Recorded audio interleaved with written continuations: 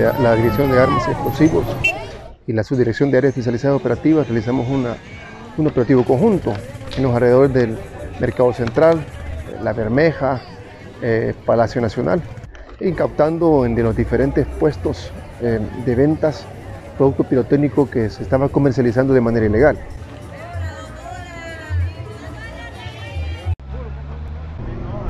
Eh, hasta el momento tenemos un total de 149.604 unidades de diferentes productos pirotécnicos incautadas.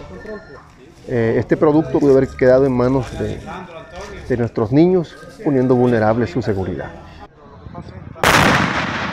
En Ciudad Delgado pues realizamos un operativo en seis diferentes fábricas de producto pirotécnico, incautando una cantidad bastante considerada.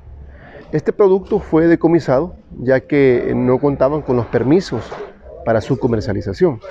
Recorrimos alrededor de unas eh, 10 cuadras en todo el centro histórico. E igual eh, eh, les, solicitamos a los padres de, las, de, las, de familia que pues no expongan a sus hijos con este tipo de productos. Muchos de estos productos es demasiado peligrosos para que esté en manos de, de pequeños.